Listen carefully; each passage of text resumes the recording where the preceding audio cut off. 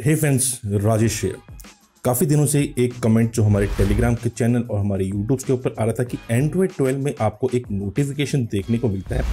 उसको कैसे डिसेबल करें? कौन सा नोटिफिकेशन है, वो मैं आपको बताता हूँ। वो नोटिफिकेशन जो है, आप जब कैमरा यूज़ करते हैं, जब फ़ोन का माइक यूज़ करते हैं, या लोकेशन सर्विसेज़ यूज़ करते हैं तो आपको टॉप लेफ़्ट कॉर्नर पे एंड्रॉयड 12 के डिवाइसेस में, ये सिर्फ़ एंड्रॉयड 12 का सिक्योरिटी फीचर है। मैं आपको पहले बताता हूँ क्या वो फीचर है और क्या लोगों को उससे प्रॉब्लम आ रही है। तो ये देखिए, जैसे हमारे पास जो है ये Redmi Note 10 Pro है, ये मेथड जो है किसी भी एंड्रॉयड 12 के फ़ोन पे काम करेगा। ना फ़ोन का बूटर अनलॉक करना है, ना आपको रूट करना है, ना टी डब्ल्यू चाहिए, सिर्फ़ आपको लैपटॉप या पीसी चाहिए होगा। जैसे कि आप देख पा रहे हैं, ये Redmi Note 10 Pro है, इसके अंदर एंड्रॉयड 12 रन कर रहा है। जैसे मैं कैमरे को लॉन्च करता हूँ, अब देखिए कैमरे पे, यहाँ पे आपको एक ग्रीन कलर का एक छोटा सा डॉट दिखाते देता है। अगर आप क्लोज कर देते हैं तो यहाँ पे आपको कैमरे का एक नोटिफिकेशन देखने को मिलता है, जो काफ़ी लोग चाहते हैं कि ये नोटिफिकेशन जो है वहाँ पे विजिबल ना हो। जब कभी भी आप कैमरे को लॉन्च करेंगे या माइक या लोकेशन सर्विसेज़ वहाँ पे आपको ऐसा एक नोटिफिकेशन जो है देखने को मिलता है। ये एक एंड्रॉयड ट्वेल्व का सिक्योरिटी फीचर है, जिससे आपको ये पता चलता है कि कोई ना कोई एप्लीकेशन जो है आपके फ़ोन के अंदर कैमरा यूज़ कर रही है या माइक यूज़ कर रही है या लोकेशन सर्विसेज़ यूज़ कर रही है। बट काफ़ी लोगों को जो है ये ग्रीन कलर का जो आइकन आपको देखने को मिलता है, ये पसंद नहीं है और वो इस सर्विसेज़ को डिसेबल करना चाहते हैं। तो ऐसा फीचर तो आपको फ़ोन के अंदर देखने को नहीं मिलता है कि आप इसको टर्न ऑफ़ कर पाए। ये आपको विजिबल रहेगा जब कभी भी आप माइक कैमरा या लोकेशंस को यूज़ करेंगे। बट आप एक सिंपल सी ट्रिक से इसको डिसेबल कर सकते हैं। उसके बाद जो ये कभी भी विजिबल नहीं होगा, ये देखिए जैसे मैं कैमरा ओपन करता हूँ ग्रीन कलर का डॉट और आइकन आपको वहाँ पे नोटिफिकेशन एरिया में देखने को मिलता है। तो इसके लिए आपको पीसी चाहिए, ना फ़ोन का बूटर अनलॉक करना है। ना टी डब्ल्यू कस्टमर करनी चाहिए, ना कोई रूट करने की ज़रूरत है। तो आज का ये वीडियो उसी के ऊपर वीडियो पसंद आए वीडियो को लाइक ज़रूर कर दीजिएगा। चैनल के सपोर्ट एंड मोटिवेशन के लिए चैनल को सब्सक्राइब करना मत भूलिएगा। तो चलिए, आज के इस वीडियो को हम स्टार्ट करते हैं। कैसे आप इन नोटिफिकेशन को डिसेबल कर पाएँगे? ये मेथड जो मैं आपको बता रहा हूँ, ये एंड्रॉइड 12 के फोन्स के अंदर ये फीचर है, उसी में आपको शो करता है। एंड्रॉइड 11 में आपको ये शो नहीं करेगा।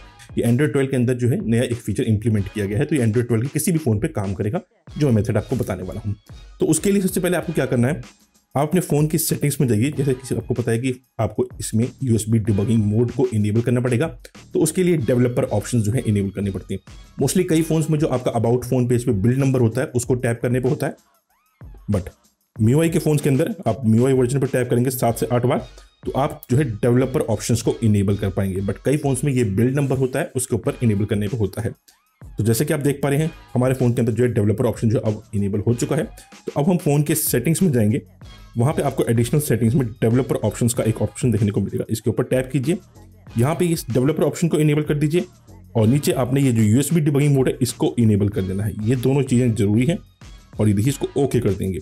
ओके करने के बाद ही ये इनेबल होगा कि न्यू फ़ोन में ओके करना पड़ता है बट कई फ़ोन में इसमें ओके करने की ज़रूरत नहीं पड़ती है। बस आपको जो है डेवलपर ऑप्शन को इनेबल करना है और यूएसबी डिबगिंग मोड को इनेबल कर देना है और ओके कर देना है। तो अब हमारा फ़ोन का काम जो है यहाँ पे खत्म हो गया। ना आपको फ़ोन को ऑफ़ करना है, ना कुछ नहीं करना है फ़ोन को ऐसे छोड़ देना है। अब हम चलते हैं एक बार पीसी के ऊपर। तो ये देखिए, अब हम पीसी के ऊपर आ चुके हैं। पीसी के ऊपर सबसे पहले आपने जो एडीबी कमांड ड्राइवर्स हैं इनको अपने पीसी में इंस्टॉल कर लेना है। तो आप इसके ऊपर डबल क्लिक करेंगे कि ऑटोमेटिकली जो है आपके पीसी या लैपटॉप में इंस्टॉल होना स्टार्ट होंगे आप वाई लिखते जाइए और इनको ईएस करते रहिए ताकि ये आपके पीसी में इंस्टॉल हो सकें और आप एडीबी कमांड्स को ठीक तरीके से अपने फ़ोन में रन कर पाएँ। तो ये देखिए नेक्स्ट करेंगे फिनिश करेंगे, ये ऑटोमेटिकली क्लोज हो जाती है। उसके बाद चाहिए आपको ये प्लेटफॉर्म टूल्स का फोल्डर आप इसको एक्सट्रैक्ट हेयर कर लेंगे और आपको कुछ ऐसा फोल्डर जो है यहाँ पे देखने को मिलेगा। तो ये फोल्डर आपको ध्यान में रखना है कि ऐसा एक फोल्डर आपको देखने को मिलता है। अब उसके बाद आपको कुछ कोड्स को रन करना है, यानी कुछ कमांड्स को। तो ये देखिए इस कमांड्स के डिस्क्रिप्शन में मैं सारी के सारी कमांड्स डाल दूँगा। तो ये जो सबसे पहले वाली कमांड है A D B shell very ये आपके जो है कैमरा और माइक का जो नोटिफिकेशन है, उनको डिसेबल कर देगी। आप ध्यान से देखिए, यहाँ पे फॉल्स लिखा है, यानी कि फॉल्स इनको डिसेबल कर देगी। लोकेशन के लिए आपने इसको यूज़ करना है। अगर आपको लगता है इनको आपने वापस फिर से इनेबल करना है तो सिर्फ़ फॉल्स की जगह आपने ट्रू लिख के इन कमांड को फिर से रन कर देना जैसे कि ये मैंने मैंशन किया है। ट्रू लिख देना है आपने। उसके बाद जो है वो वापस री इनेबल हो जाते हैं कैमरे को इनेबल करना है। इसमें ट्रू कर दीजिए। लोकेशन करना है इसमें ट्रू कर दी कैमरे और माइक की कमांड एक ही है। तो ये तीन कमांड आपको रन करनी है यानी कि दो कमांड्स रन करनी है। थर्ड वाले मैं आपको एग्ज़ाम्पल शो कर रहा हूँ कि आपको फिर से इनेबल करना हो तो, तो ये कमांड्स आपको डिस्क्रिप्शन में मिल जाएँगी। अब उसके बाद आपने क्या करना है? अपने फ़ोन को अपने पीसी या लैपटॉप के साथ कनेक्ट कर देना है। तो अब हम अपने फ़ोन को अपने पीसी के साथ कनेक्ट करते हैं। तो ये देखिए फ़ोन को हम कनेक्ट कर चुके हैं। अब हम चलेंगे प्लेटफॉर्म टूल्स का जो फोल्डर है, उसको ओपन करेंगे। उसके ऊपर लिखेंगे सी एम डी और एंटर मार देंगे। आपको ये ध्यान रखना है कि आपका फ़ोन के अंदर जो है यूएसबी डिबगिंग मोड जो है इनेबल्ड होना चाहिए अदरवाइज़ ये कमांड रन नहीं करेंगी। अब आपने क्या करना है? यहाँ पे सबसे पहले कमांड करनी है A D D B devices ये देखिए, इस कमांड को आप रन करेंगे। अब आपको जो है, यहाँ पे लिखा को आएगा लिस्ट ऑफ़ डिवाइसेस अटैच और आपको साइड से फ़ोन के ऊपर एक पॉपअप भी आएगा कि यूएसबी डिबगिंग बोर्ड से आपने इस पीसी को कनेक्ट करना है कि नहीं करना है। तो उसको ओके कर देंगे। मैं इसको यूज़ कर चुका हूँ तो ऑलरेडी ये हमारे पीसी के साथ कन्फिगर है। तो ये आपको नीचे जो सीरियल नंबर है, ये आना यहाँ पे ज़रूरी है। अगर यहाँ पे ब्लैंक स्पेस आ रहा है दैट मीन्स कि आपके ड्राइवर जो है सक्सेसफुली इंस्टॉल नहीं हुए हैं, पहले ड्राइवर्स को सेटअप कर लीजिए। तो ये यहाँ पे लिखा हुआ ना, बहुत ज़रूरी है। अगर ये लिखा हुआ नहीं आता है, ये स्पेस या स्पेस जो है ब्लैंक रहता है तो दैट मीन्स कनेक्टेड नहीं है। आपका ए डी डिवाइस से आप पता कर सकते हैं। अब हम जो है, हम कैमरे को डिसेबल करने के लिए जो सबसे पहली कमांड थी, हम उसको यहाँ से कॉपी कर लेंगे। ये फॉल्स वाली, आपने इसको वापस इनेबल करना है तो फॉल्स की जगह आप ट्रू लिख देंगे वहाँ पे। तो ये देखिए, अब मैं इसको यहाँ पे रन करता हूँ। तो ये देखिए, यहाँ पे हमने पेस्ट कर दी। और एंटर कर दिया। एंटर करते कुछ नहीं होगा, आपको सीधा वापस जो है आपकी टूल वैसे आ जाएगी तो ये हमने कैमरे को यहाँ से डिसेबल कर दिया। तो बस मैं आपको दिखा रहा था कैमरा और माइक को हमने डिसेबल कर दिया है। आप इसी तरीके से लोकेशन को भी डिसेबल कर सकते हैं। तो उसके लिए जो लोकेशन की कमांड है, उसको सेलेक्ट कीजिए और उसको यहाँ से कॉपी करके यहाँ से यहाँ पे पेस्ट कर दीजिए और लोकेशन की भी डिसेबल हो जाएगी। अब एक बार हम फ़ोन पर चलते हैं और चेक करते हैं, जो नोटिफिकेशन पहले आपको देखने को मिल रहे थे, वो अब मिलते हैं कि नहीं मिलते हैं। तो अब हम चलते हैं फ़ोन पे। तो ये देखिए, फ़ोन पे अब चलते हैं। अब हम कैमरे को फिर से लॉन्च करते हैं। तो ये देखिए, आप देखते रहिए, यहाँ पे नोटिफिकेशन अब आपको देखने को मिलते हैं कि नहीं। तो ये देखिए, कैमरे को हमने लॉन्च किया। तो ये देखिए ग्रीन कलर का जो नोटिफिकेशन था, अब आपको यहाँ पे देखने को नहीं मिलेगा। तो इस तरीके से जो आप इन नोटिफिकेशन को डिसेबल कर सकते हैं।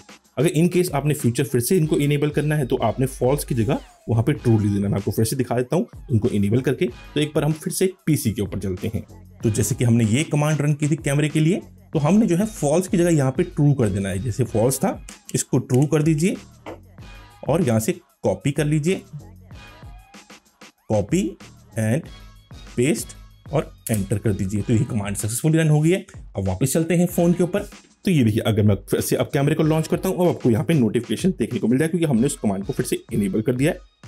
ये देखिए ग्रीन कलर का डॉट और वो आइकन आपको फिर से वहाँ पे विजिबल हो गया है।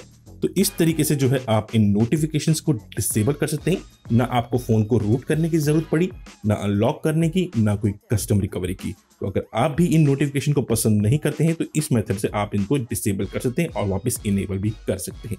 तो उम्मीद करता हूँ आपको आज का वीडियो पसंद आया होगा। वीडियो पसंद आया हो तो वीडियो को लाइक ज़रूर कर दीजिएगा। चैनल के सपोर्ट एंड मोटिवेशन के लिए चैनल को सब्सक्राइब करना मत भूलिएगा। मिलते हैं नेक्स्ट वीडियो में, तब तक के लिए टेक केयर एंड बाय